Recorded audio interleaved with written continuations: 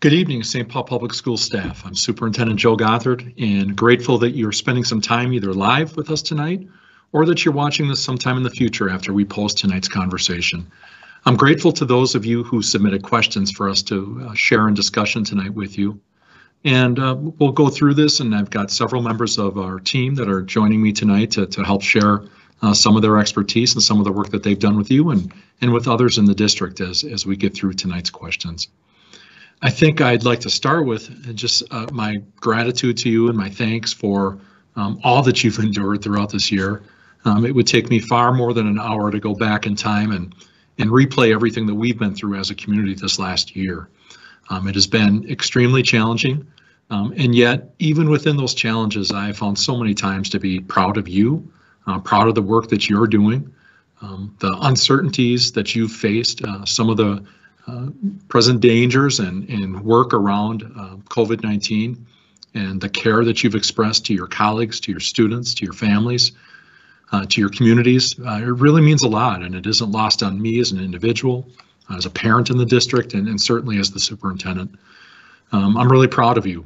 And I know that in this time there's been uh, so much um, criticism and uh, desires and decisions that have been made or haven't been made and you know everybody seems to have a different way that they're um, that they feel about many of the things that, that we faced. Um, just know that we'll get through this together.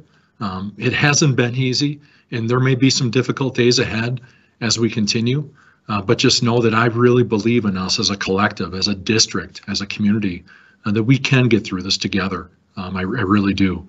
I, I do feel like there are better days ahead of us. I understand, and right before I haven't even been able to read much about it, but I do understand Governor Walz is going to uh, make some announcements tomorrow morning. That would be the 12th if you're not watching this live, uh, Friday morning, um, about continued uh, ways of dialing back some of the, the measures and restrictions that have been in place. And, um, you know, I think that that, again, uh, says that, that we're doing a far better job as a community and we've got a lot of work to continue to do so that we can do a great job as a school district and school community as well. So again, I want to thank you for being here tonight. Uh, uh, we'll get through some questions momentarily, but first I'd like the members of my team who are joining tonight to introduce themselves. Hello, I'm Hans Ott, Executive Director for Digital and Alternative Education. Nice to see you all. Good evening, I'm Jim Vollmer. I'm the Assistant Director of Employee and Labor Relations with Human Resources.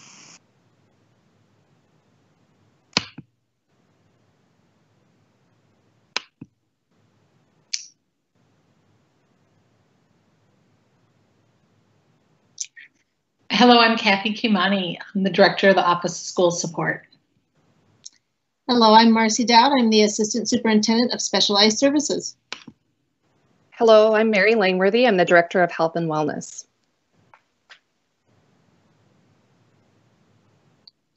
Good evening. I'm Stacy Gray Akyea, and I am the Director of Research, Evaluation, and Assessment. Good evening. My name is Stacy Koppen. I am the Director of Nutrition Services. All right, and I think that is everyone. And staff, as you can see already, sometimes mute buttons stick, and I'm sure that's never happened to any of you. So let's get through, uh, let's start with tonight's questions. The first one, and again, thank you so much for those of you who submitted, is from Josie Pineda Johnson at Ramsey Middle School. My question is related to food services and lunchtime.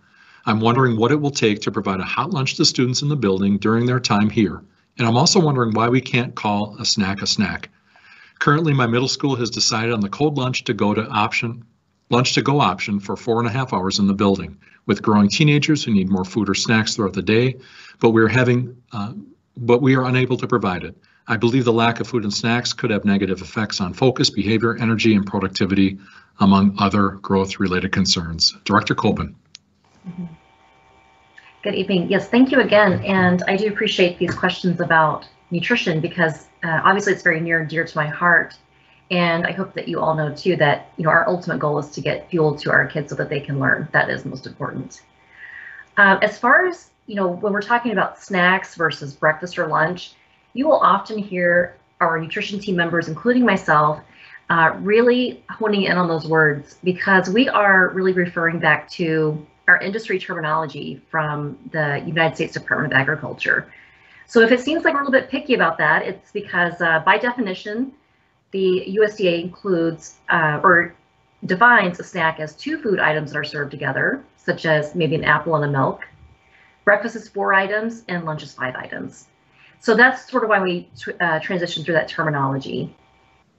As for the lunch program, we do have a hot or a cold option that's available or a combination for schools.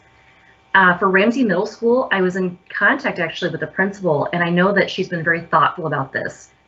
The Ramsey administrative team sent out a survey to staff, which closes today to collect more feedback. So the decision has yet to be finalized, but the administrative team there is intending to use further collaboration to make that final plan as to what meal services would look like at Ramsey Middle School. All right, thank you, Director Koppen. The next question is from John Horton, teacher at JJ Hill Montessori. How has the pandemic altered, changed, or helped reimagine the district's strategic plan? What lessons did we learn and what are some of the things we will do as a district differently moving forward? Mr. Horton, uh, thank you for, for sharing uh, your question. And, and first, I'd be remiss by not expressing congratulations to you and to your colleagues Eugenia, Eugenia Polpa at Harding High School and Kathy Romero at Como Park Senior High School.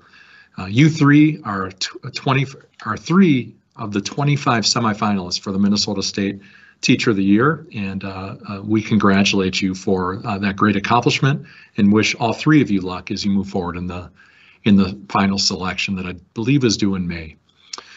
So I think as you asked this question about what did we learn, what have we learned from the future, um, we have spent so much time adapting in real time uh, to meet the needs of this challenge. I think there's many things that we're going to be able to draw on moving forward. Um, and that list is going to be long and lengthy. And I should also say that that list should not be from how I see things. It definitely has to be um, what have we experienced as a district and as a community that can help us uh, move forward in the future. There are some things I've learned from a business and operations standpoint, though, that I think are worth sharing. The first is uh, that we no longer use paper time cards. Uh, we had to automate the way that we record time and enter time in the district. And uh, for me, that was one of the goals I had um, after about my third month in the district. And I said, how come I sign these every week? And understanding that we just weren't quite there as a district yet. I do think it's very important that we um, have an automated time system for many, many reasons. Um, and we've been forced to do it and have been pretty successful, I believe. Uh, that's also a great time for us to think about other cloud functions that we have in the district, and we are underway with the launch of a PeopleSoft update to our entire system. The way that we do business and operations in the district will change and uh, will be far more advanced with the tools that are available today. And, and again, I think this time has forced us to uh, to discipline ourselves in new ways and think about how we might use that, uh, not as a tool that we have to go in to do things, but a tool where we can optimize um, efficient systems and, and, be effective with how we use systems throughout the district. Um, and I think uh, that'll be a, a, great thing as we move through this year. It's a little bit over a year with that uh, total um, upgrade and, and, and, plan that's in place. Uh, many of you are also aware that our Board of Education recently approved our application to the Minnesota Department of Education to host an online school. So that conversation uh, many might think it started because of COVID-19 and the pandemic, but it didn't. It actually began, well, far before, but really with a reorganization in October of 2019. And one of the reasons uh, for, for doing that was for a team to come together to create an online school. We just had no idea that just a few months later, we'd be forced into distance learning and, and, and be forced to, to use an iPad or a device for, for all of our functions. Um, so again, what we're talking about in terms of an online school is quite different than virtual learning. Of course, there are applications uh, that will um, lend themselves to, to what an online school looks like, but in terms of how it's operated, you know, being a separate school um, and being very specific for the educators that are um, that are assigned and that are that are working and teaching in that environment, and of course the students and, and families who opt for that option as well. Uh, so that is definitely one thing where I think um, our, our district will be in a far different position, um, standing that school up and, and, building that school and making it a part of the portfolio of options uh, that people have, that students have, that families have uh, for St. Paul Public Schools. So the other thing is that, uh, as I mentioned, we will have continued opportunities to draw on what we've learned from this year. And I don't know that I'm in any place right now at this moment to, to do that, honestly. And I would imagine many of you are in that in that same uh, space as well. I do believe moving forward that um, you know we uh, will continue to draw on this time and and learn from it. Um, you know there there'll be plenty of things that we don't want to remember, and that's fine too. Um, but again, I, I do believe that we'll be able to um, to you know look at our strategic plan and to think about the way that we support uh, your work, our work, what we want for our students, and be able to really um, do better. I also urge you to continue to, to please reach out to me. I'd like to hear what ideas that you have about what you've learned from your experiences uh, that you believe we could draw on for the future. And I think one thing that we've learned is that you know the it's it's limitless in terms of what we want to do. It's a matter of how can we support it.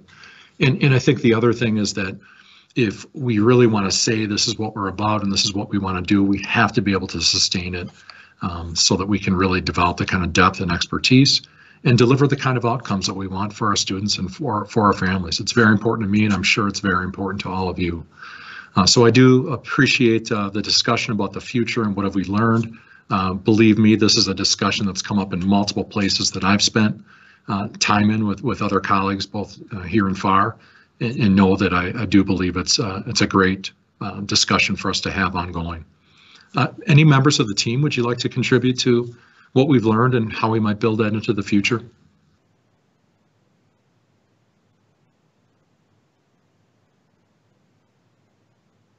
Dr. Gothard, uh, I, I can add that from an instructional standpoint, it's been amazing to see the educators uh, leading for how to meet students' needs in a unique environment. And we've been working uh, with the uh, support of our community for now since 2012 on the personalized learning through technology. And though the technology has been in the hands of our staff and students, uh, there's been a lot of opportunity for growth over the last year. And we've really um, been able to hear from staff, hear from students as well, what makes online learning better. And uh, we're constantly applying that to the guidance we provide out of academics and from our digital and alternative education office. I appreciate everyone's uh, patience as we've gone through this, and we will only see that grow and grow and grow as uh, we move forward with digital education. And uh, there, has been a number of ways we've learned to reach kids in new and unique ways. And we've heard some voices of students now that we weren't hearing as much in the classroom, and now we are hearing them uh, virtually. And on the latter, the other side. So there's work to be done yet, but many lessons learned. Thank you, Hans. I appreciate that. Okay, I'm going to move into a question from um, Elizabeth Sonby in our Indian Education Program. Why are schools and programs not allowed to purchase their own our own air purifiers? Um, very few rooms uh, have uh, qualify for an air purifier provided by SPPS. And we've been told that we are not allowed to use the school or program funds to purchase air purifiers for rooms that do not qualify. Um, kind of talking about the equity, some PTOs and other entities are uh, providing resources so that schools can can buy them. And I, I do understand that, and it is something that actually came uh, to me today as well for us to to look into. Uh, but I wanted to share with you what Director Parent shared with me. He couldn't be with us tonight, uh, but I did ask him for uh, to to share some perspectives. Um, first, you can find lots of information on the reopen website about how the facilities team is trying to reduce the risk of coronavirus transmission through our improved indoor air quality. It is complex and multifaceted in, in how that is done and all automated for that matter as well. Please know that supplemental air purifiers are not critical to ensure adequate ventilation system mitigations, and every space that is used for teaching is supplied with fresh filtered air through the mechanical system. In any space where there is any historic air sampling data that indicates the mechanical system may not be able to provide the level of fresh filtered air that we could or that we would like in the district, We've already purchased and placed supplemental HEPA air purifiers out of an abundance of caution. And again, I urge you to reach out to that team in particular. If you have continued concerns or questions, uh, we have an indoor air quality team uh, in the district and they are incredible and responsive. And they have really put us in a position uh, to have what we believe is the necessary mitigation for air purification and ventilation in our buildings. And in those cases where we don't, or there's an area identified, uh, then we will take the proper steps to ensure that that's taken care of. The next question is from Amanda Perna in Cherokee Heights. What can we do for children who are not wearing masks? The child I'm thinking of refuses to wear one much of the day, um, has doesn't have a reason for not wearing one. Uh, we've been told that all we can do is encourage him. There has to be more that we can do. Say, staff and children have high levels of anxiety due to non-compliance of mask wearing. I'd like Kathy Kamani to please share some information with you tonight. Good evening. Um, thanks for that question. Um, we did anticipate that there would be students that um, struggled with keeping um, their mask on during the school day um, and know that there are many students that are being successful in doing that. Um, so in general, we always want to take a preventative, educational, and restorative approach to any type of behavior that interferes with learning. And this really means that we want to be proactive and student centered to develop some positive interventions that will increase your students' compliance in their ability to wear the mask throughout the day. And so the first step would be I know you're already mentioned in your question that you are encouraging that student and probably giving some real positive feedback when you see that they are wearing the mask. Um, but I think we want to work to also attempt to identify just why. What's the why behind that behavior and why are they refusing to wear that mask? And even go as far as to be reteaching not only how to wear the mask, but also why in a developmentally appropriate way in words that make sense to the child. But why are they wanting, but why they need to wear that mask? So I would encourage any educator to reach out to their um, staff that they have in the, their building that can help them with that. So reaching out for the support of their counselor or social worker to help develop a positive behavior intervention plan um, that might include things like um, the fact that most kids might want to be more likely to wear a mask if they have a mask that they like or they choose. Um, is there a trusted adult in the building that would check in with that student throughout the day? And like I mentioned, and you're probably already doing, giving that feedback when they do wear the mask, even if it's for a small amount of time.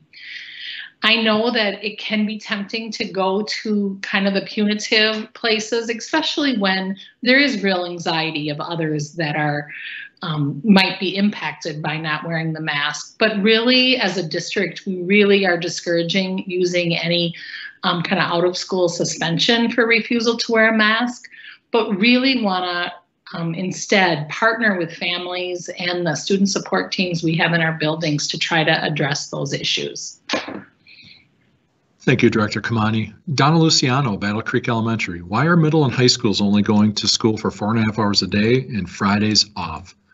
I asked members of our school team to contribute to this response. So districts throughout Minnesota were provided the autonomy to determine what in-person would look like.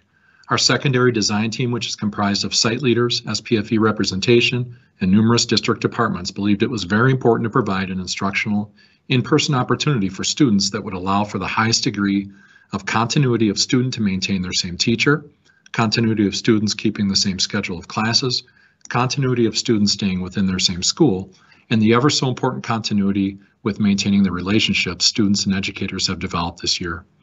Our four and a half hour schedule allows for the continuity that we believe is so important for students and staff. The hours also allow us to be very intentional about separating the doing two job concerns that many districts are experiencing with their teachers. By designing our schedule, we provide an intentional time for our students who opted for virtual learning to maintain continuity of their teachers, course offerings, and remain connected to their same site. Our in-person schedule allows our secondary system to support the scheduling complexities, complex, complexities, as well as maintaining the individual identified continuity we believe is important for both in-person and virtual learning students. By using a four and a half hour day, we do not only allow our virtual learners to have synchronous time each day, we also allow our in-person to be on site for four days a week rather than two to three days like many hybrid models. And I think another important thing uh, for us to, to add to that is that you know we have a lot of and especially at our high schools a lot of single courses uh, so the opportunity for us to create a mirrored experience in a virtual learning site with a teacher who is either in person or to create virtual learning sections Uh, we do not, we did not have the ability to do that and, and to do that well. Uh, we do not have an on, on online school, nor would we have an online school at this time that would be equipped to handle the schedule volume uh, that our students have, have chosen uh, for their courses. Some of them being uh, electives, of course, but many of them being required for graduation as well. So we felt it was very important for us to create a schedule that would allow our students to stay in their school with their teachers and uh, give the opportunity to do both and, and to do them uh, in a in, in the least restrictive way possible. So again, the Friday off is is a is a day for for planning, getting ready. It's also a plan a day to to check in with students to make sure they have what they need to be successful. And it's a very common schedule right now as well um, around the metro. Um, in terms of the four and a half days, the only thing I would add, I don't think I mentioned it in there, but some of our bus and transportation schedules as well. Um, the different shifts that we have, um, you know, we're, we're not able to follow uh, just the regular schedule. So the staggers that we have in our start and end times um, are also very important for our transportation schedule. Colleagues, I don't know, I think I'm going to move on to the next one so we can get through as many of these as possible. Will there be a virtual learning school program offered K through 12 next year, 21, 22? Thank you for the question. At the January, uh, one of the January board meetings, the school board approved our application to the state for a comprehensive online school for our 9th through 12th graders uh, that we are to begin enrolling this spring, and also for the option to provide uh, K through 12, or in this case, K through 8 supplemental online program for all of our uh, students in St. Paul Public Schools. So we are planning for both uh, groups of students to have an, a, a, defined SPPS online school for 9th through 12th graders that uh, will be open to students in St. Paul Public Schools and the neighboring adjoining districts. And then we are also preparing for our K through 8 learners to be ready to uh, enroll uh, as they see fit for the fall in a full-time online program, and those are for our students inside uh, St. Public Schools. So we look forward to both those options and appreciate the collective input we've had from the teacher, principal, and district administrator planning teams to, to make that happen. Great, thank you, Mr. Ott. Um, a high school uh, teacher writes, if I have an official COVID-19 ADA from Human Resources, will it be assumed that I am going back with the rest of the staff in my school on April 12th or am I exempt from returning? I'd like to ask uh, Mr. Vollmer to please respond. Certainly, thank you. Uh, we've been getting that question quite a bit actually in human resources. Uh, the way we have to address those is on a person by person, individualized basis. So over the course of the next couple of weeks, uh, human resources will be reviewing those, working with our uh, principals in our buildings, uh, seeing uh, what what we can do or what we are unable to do with those. We will then be getting uh, notices out to employees if there is a change uh, to that accommodation and also if there is, uh, it stays the same.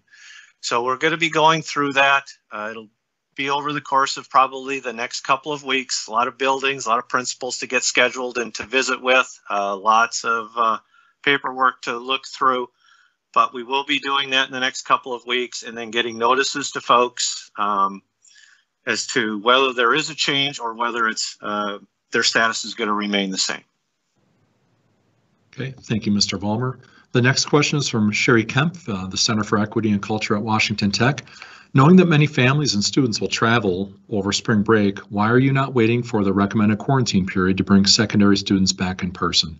Uh, before I turn it over to Mary Langworthy in our Health and Wellness uh, Department, um, I'll just say that I, I want our students back in school and to delay any further after spring break, you know, leaves us a, leaves us just a few weeks before the end of the school year. It's very important to me uh, that our students get back and we get a semblance of uh, what in-person learning is uh, right following spring break and following the two planning days. Mary, do you want to talk a little bit about the recommendations from our officials as well? I will, thank you. Um, so at this time, travel is still discouraged. Um, and so if people are choosing to travel, we're hoping that they are traveling with some um, good caution and care. Um, either going to somewhere new may expose either yourself or other people, depending on what the case rates are in that community. Um, so careful travel, if you are going, is really advised where you're trying to avoid people, social distance, and isolate as best you can. Do testing before you go and after you return. Um, and certainly if you're sick or if any family member is sick or has tested positive, then we would ask that employees would make a report to our COVID system and stay home. Great, thank you, Mary. Next question is from Molly Brown, sixth grade teacher at Washington Technology Magnet. What is the plan for state testing, specifically MCAs? If students are to take their MCA test when returning to the building in quarter four, how are we making it equitable if virtual students don't have to take them? It seems like students returning to the building are being punished by having to take the test. And Dr. Gray Akyea is here to share about your question, Molly.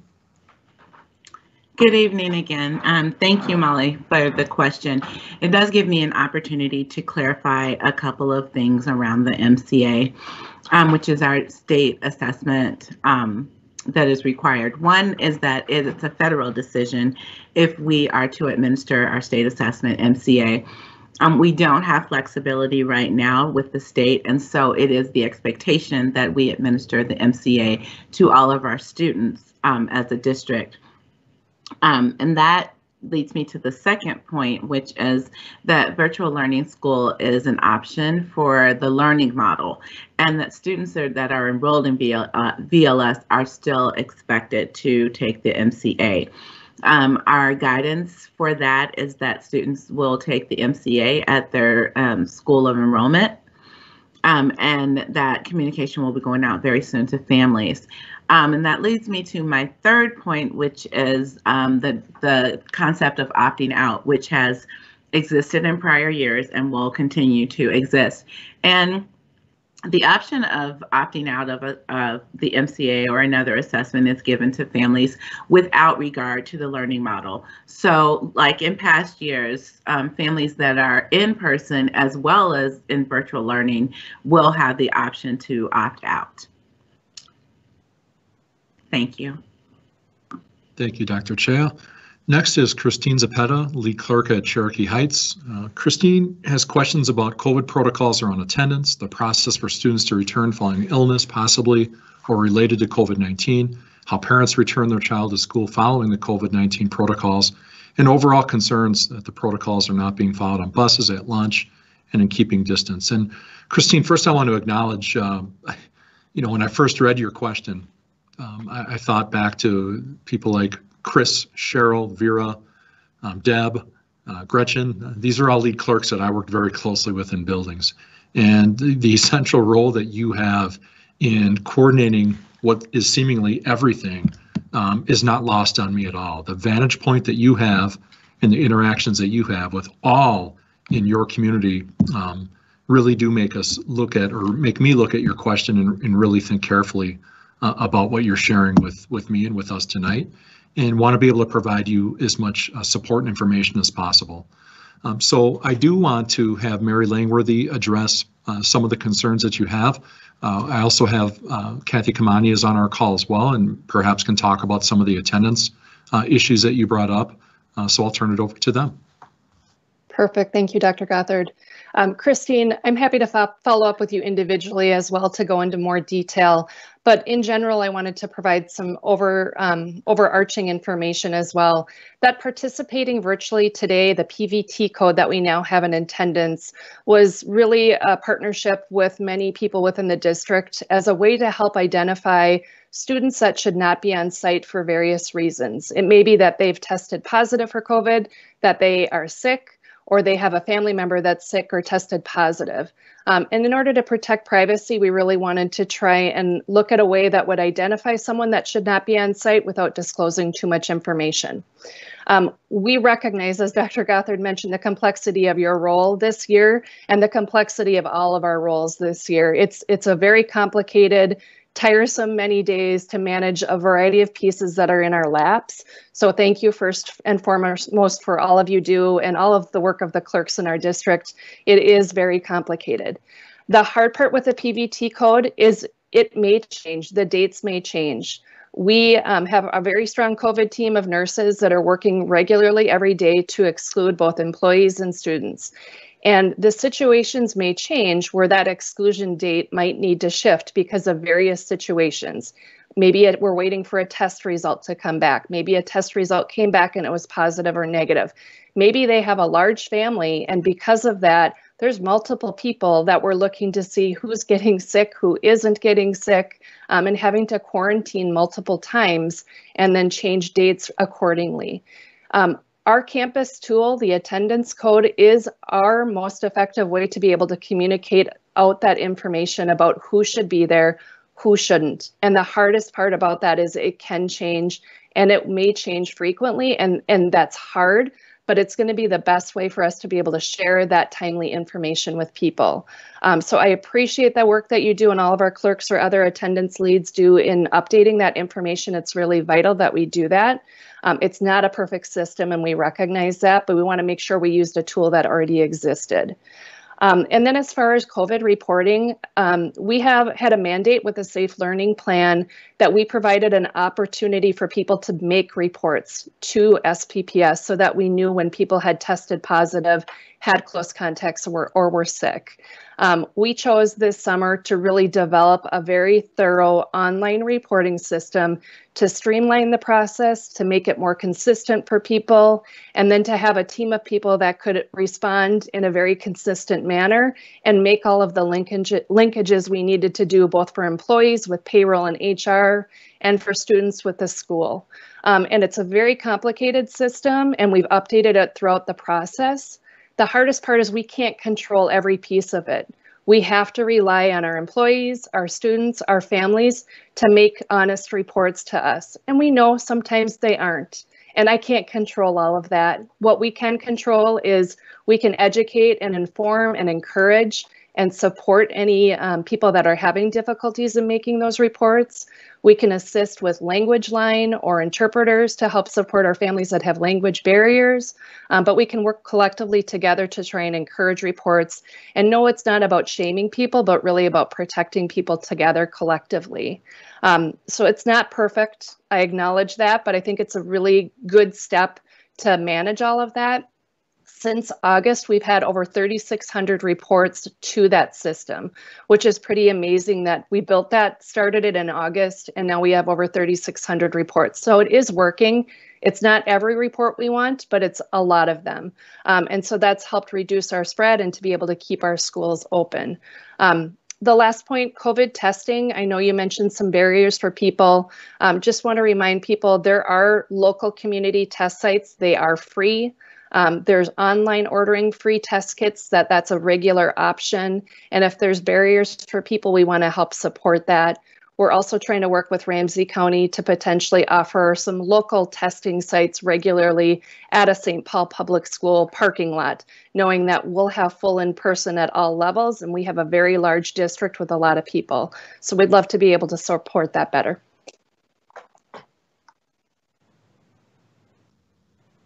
Great. Thank you so much, Mary. Next question is from Halita Herr, Phalen Lake Hmong Studies, uh, fourth and fifth grade teacher.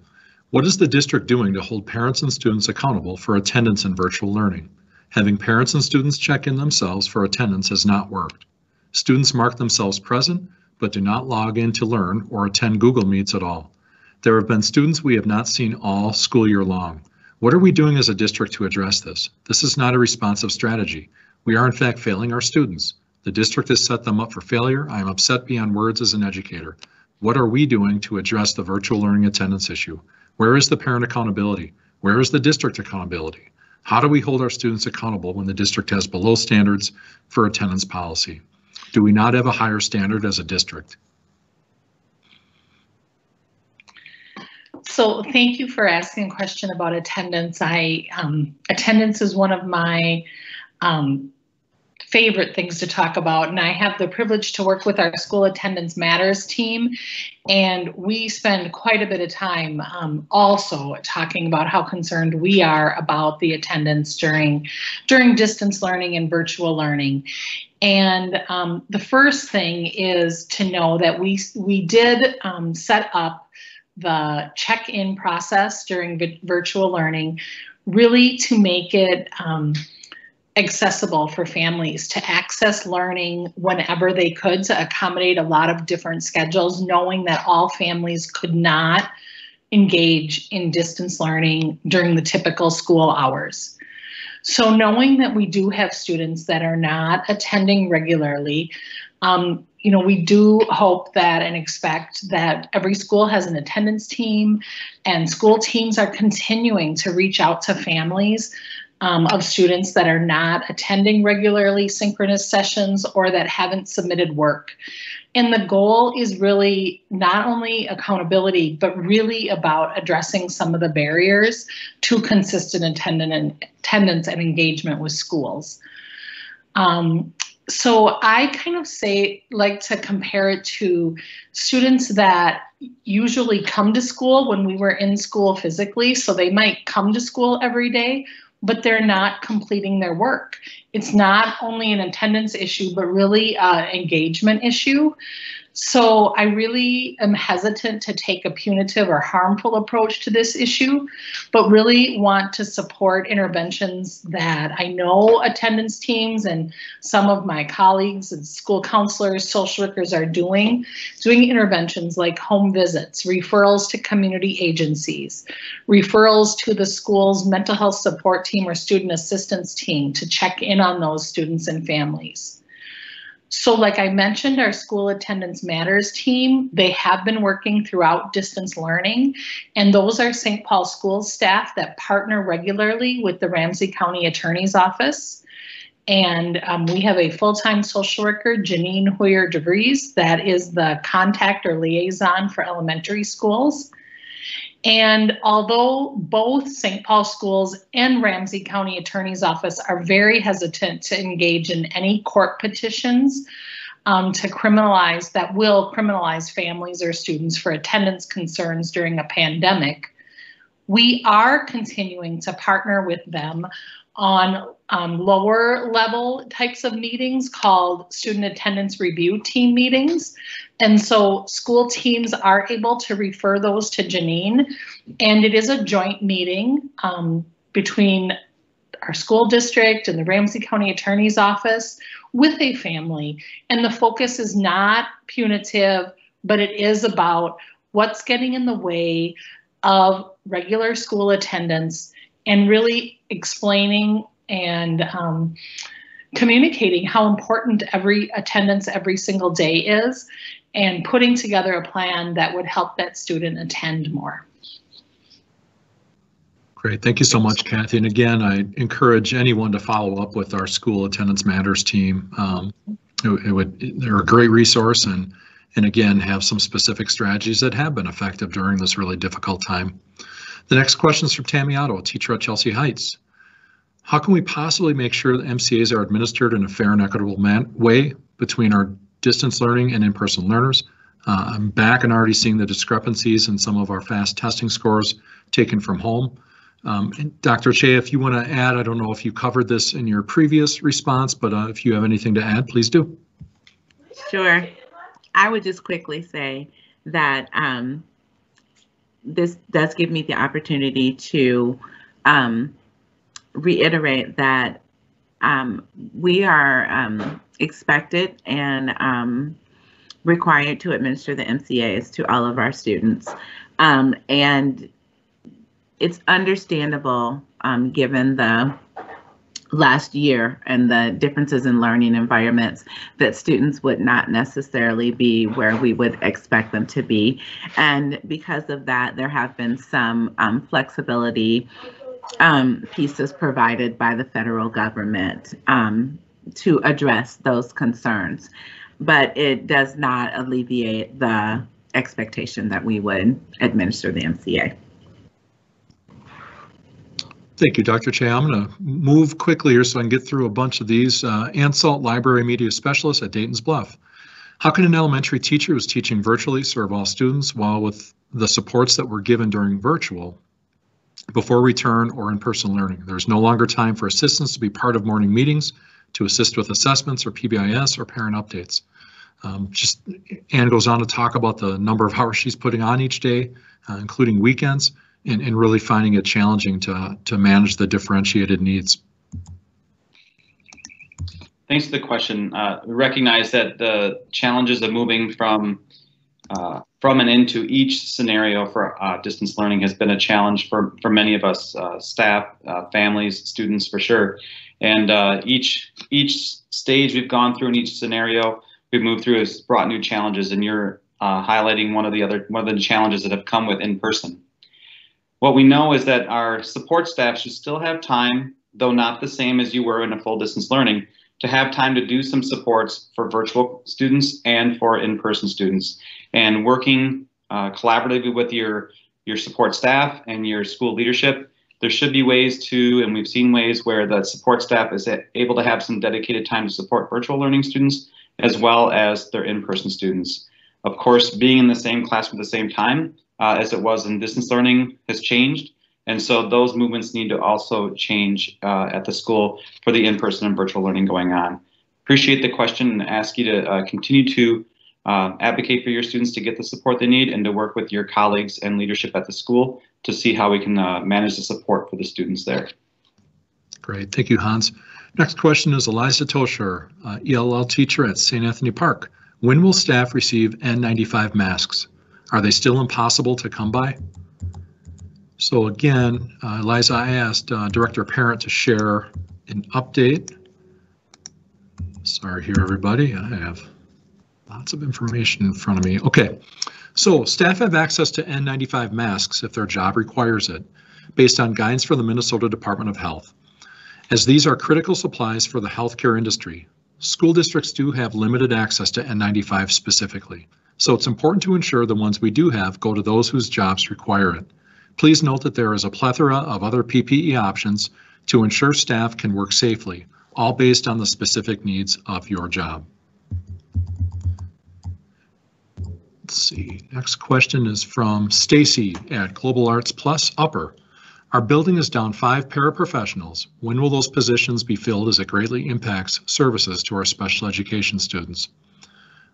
Um, how can you help our middle school? We have a large number of special education students choosing to stay virtual, but also a large in the building. We do not have enough staff for both. How do we meet the IEP minutes of special education students when they're staying virtual?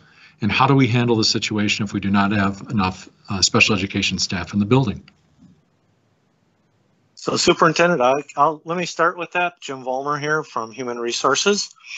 Uh, on the first part, we are in, and have been um, hiring as many paraprofessionals as we can to help in all of our buildings uh, with all of our uh, services that uh, they so wonderfully help us with and help our students with. We um, we did meet yesterday and had a great conversation with uh, the business representatives that represent our uh, paraprofessionals and asked them to uh, help us in that recruitment to use the avenues that they have, the resources they have for recruitment.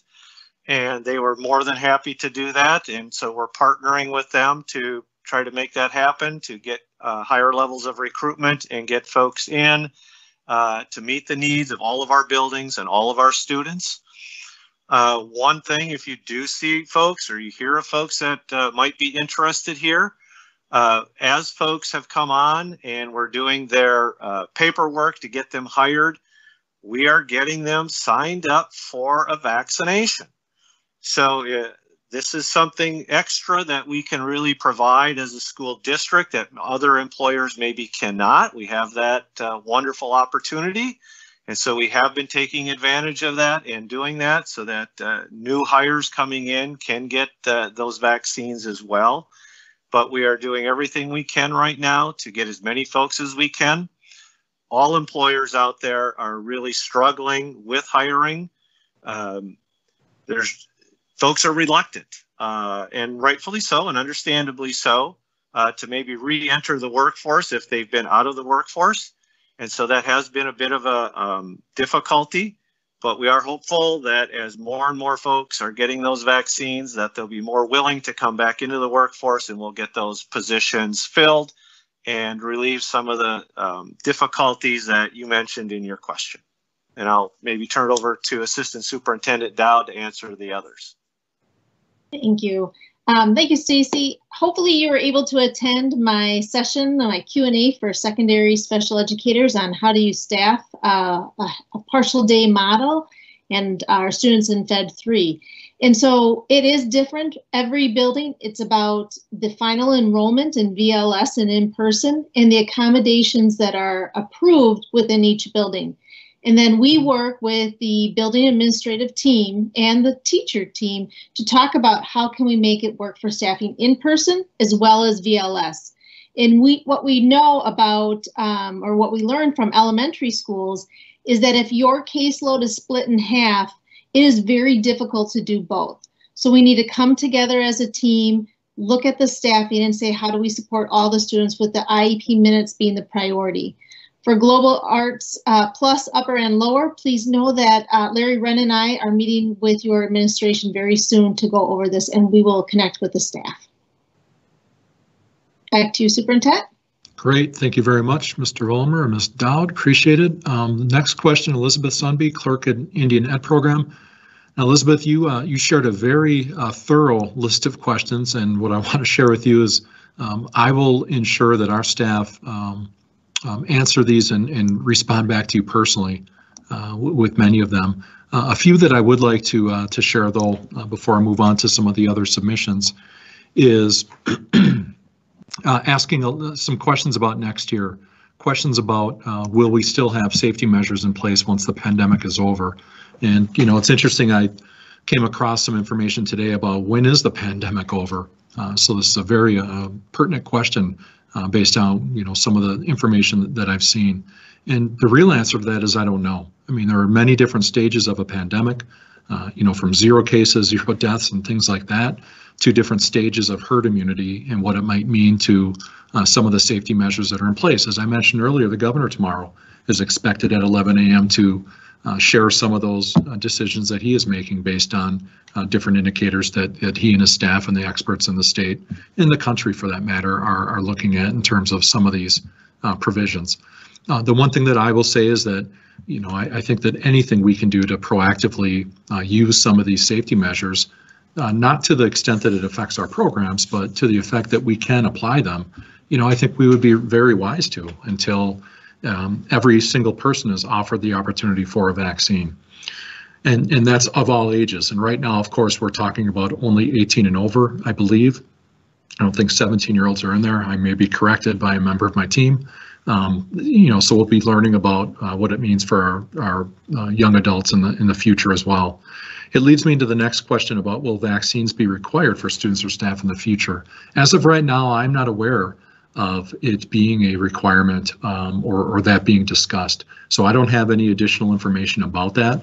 Um, I would imagine that there are many people wondering uh, about that. I can share with you that I've been a little bit surprised by the, uh, I shouldn't say surprised, but it has caused me to look at some of the numbers in terms of um, how many people are opting not to uh, for a variety of reasons uh, to once they're offered a vaccine. And that that's been pretty consistent with my colleagues, both uh, here and far, um, in terms of what they've experienced as well.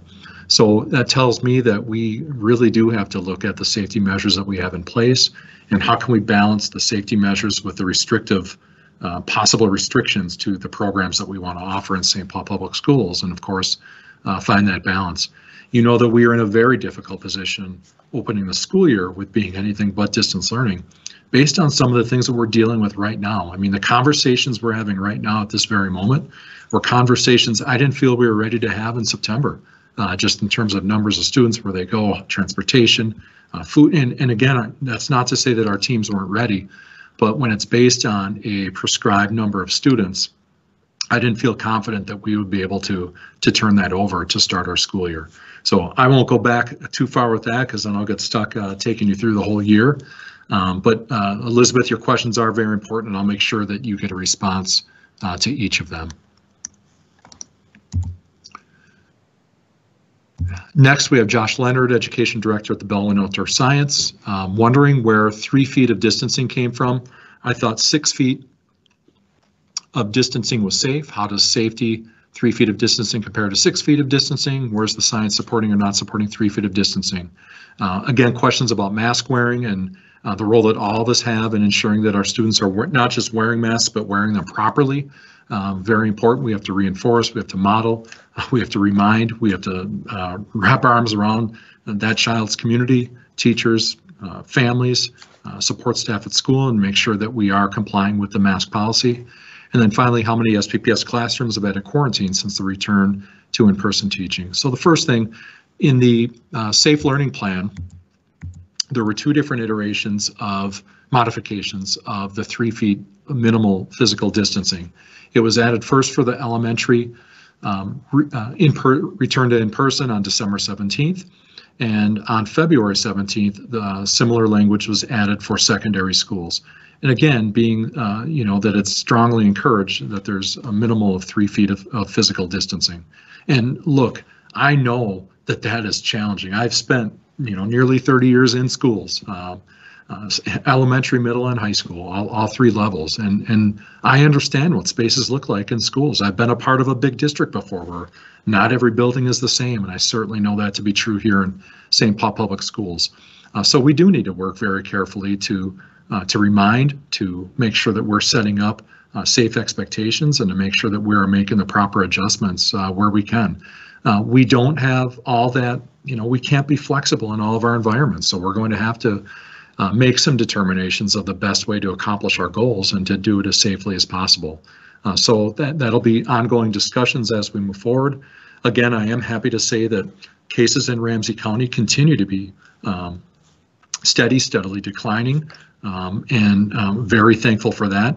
But you're right, we do continue to have COVID-19 impacting um, our schools and our community. And uh, though we don't have data that we're sharing on the number of classrooms that we're quarantining, we do share a, a, a, dashboard weekly that updates on Sunday evenings that shows staff and students and the number of reports that we've had for either suspected or, or positive uh, COVID-19 reports, or and then the actual positive cases uh, that we have as well. Uh, so that is data that's available on our Reopen SPPS webpage uh, for you to take a look, and you can see some interesting trends there as it relates to what COVID was like in the community and the corollary uh, data points uh, here in SPPS.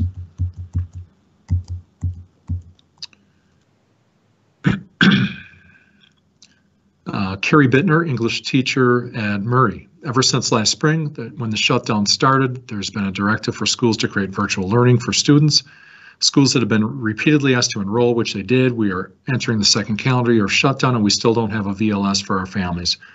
Uh, now starting in April, secondary buildings have to struggle to teach two formats, often to the detriment of both. So why haven't we created a virtual learning school?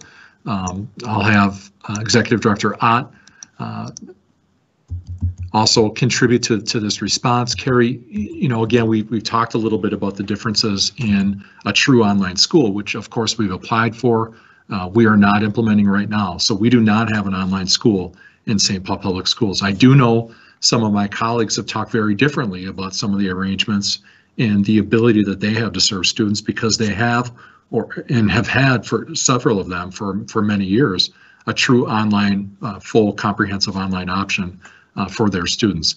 You know, I think even in that case, it's been stretched uh, during COVID-19, and, and even in those districts, they're not able to accommodate in the true online uh, fashion uh, the kind of requests that they would have from all their students who are opting for virtual learning uh, per the state's um, uh, the state's mandate that we offer that for for our students. So I want to be able to, to, to make sure that we are talking about that, that I'm talking about three different things here. Of course, in person, virtual learning. What are we offering St. Paul Public Schools, and then an online option that we don't have developed yet uh, that we are approved to and that we are working towards. So there is a little bit uh, of a difference there.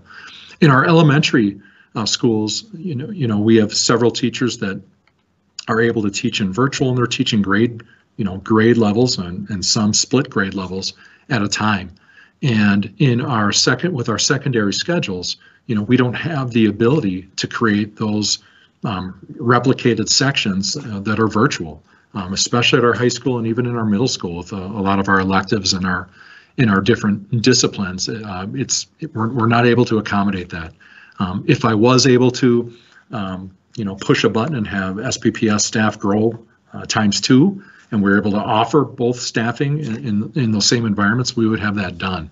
Um, but but we can't, and, and, we're not able to accommodate that. Uh, so again, we're looking at our secondary levels, especially uh, to create, as I mentioned earlier, the opportunity for our students to be in both environments uh, with their teachers. And I understand the challenges uh, that that has. I understand uh, that that I am not able to um, to say to you and to direct you uh, to say you have to teach students that are in person and students who are virtual at the same time. I also understand that many of you have found ways to be very successful um, in, in, doing that, in, in using some of the tools and strategies that, that, that you've accomplished. And it's it's greatly appreciated and, and something that uh, you know that, that deserves you to, to continue to have support uh, to do if you're able to. Uh, but I also understand that that isn't going to be possible for all students uh, to be there throughout the day um, at every scheduled time. And, and as I mentioned earlier, the expectation for all staff. So we wanted to create that time in the afternoons and that time on Fridays. So there could be a time for there to be some intentional uh, reach out and work with uh, students who are in, in virtual learning. I understand it is not going to be perfect. I understand it is not going to be ideal, but right now those are the models that we have as we continue to develop uh, what a true online school option would be for our students. In the meantime, uh, teachers and staff, I can't say enough how much I appreciate the work that you're doing. Some of you never in a million years would have wanted to teach online. Some of you have been waiting for opportunities to do it, perhaps. Uh, but those are, are, are choices that we should have in our system and not be mandates that you're forced to do or or that we have to do in reaction to a uh, to the COVID-19 pandemic.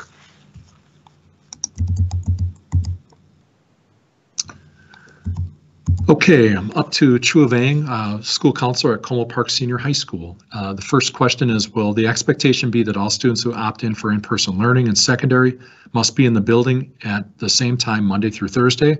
Or can buildings plan to have a certain grade level in the building to help reduce the exposure in the classrooms and hallway? I believe Executive Director Ott, you were gonna. Yep. Yeah, I can address that. Thank you.